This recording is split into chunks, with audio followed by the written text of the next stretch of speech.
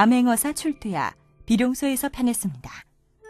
동화를 사랑하는 사람들의 모임 햇살과 나무꾼이 펴낸 마법의 두루마리 시리즈 8권입니다. 호기심 많은 준호, 민호 두 형제가 마법의 두루마리를 통해 조선시대로 넘어가 암행어사를 만난다는 내용을 담았습니다. 암행어사의 의미와 역할, 조선시대의 생활 모습까지 생생하게 전달하는 어린이 동화입니다.